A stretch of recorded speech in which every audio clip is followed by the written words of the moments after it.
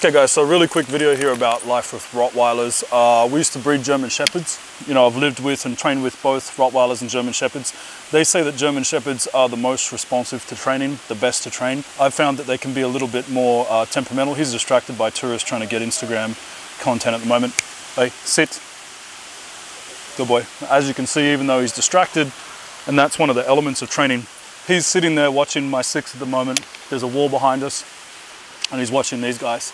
And uh, what I can say uh, in my experience, and this doesn't, this doesn't mean it's all German Shepherds, but they have a different temperament. These guys are incredibly loyal, incredibly affectionate, um, and will just, you know, stand by you no matter what. And I have countless stories to uh, back that up, obviously. But my general experience is that to own and maintain shepherds, they, uh, they have a lot longer hair. Uh, their coat, they shed constantly. These guys do a little bit too, but the shepherds were really a pain. You just constantly like trying to clean that shit up. Someone's coming towards us. Sit, please. Thank you. Good boy. Some people on that subject, just as a quick note, a lot of people disagree with the choker chain.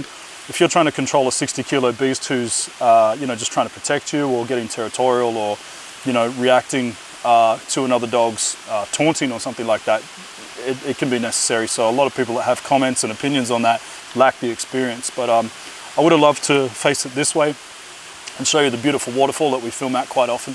Uh, we do a lot of training and stuff here, but uh, there's, there's people over there taking photos and I didn't want them in my, my content. So anyways, I talk about this in depth in some other videos, but a lot of people have great stories and horror stories about both German Shepherds and Rottweilers. I just did a video about a vicious uh, dog attack that was from a Rottweiler, unfortunately, that tarnishes the name and image of these guys who are, in my opinion, the best dog, and that's why I have two of them. In my next video, I'm going to break down the basics of the training and how we achieve the level uh, with these guys where they become uh, incredibly obedient, loyal, uh, sociable, which is really, really important so they don't attack other people or lash out or misbehave in public. And um, yeah, just get them all around chilled. But one thing I will tell you, uh, just as a spoiler alert, the most important thing is the bond between you and the dog. So uh, they are a family member. They should be treated as one and uh, you know need to be included. So if you have that bond, everything becomes easier from there as they're more receptive uh, and responsive to the training. So check out the other videos in the playlist. If you want to know more about personal security, home security, self-protection, survival, and all those other good things we do, check out the link below for access to our online learning center, which has 19 programs, over 2,000 in-depth instructional videos. You can access them all right now for a week for just a dollar, so check it out. See you online.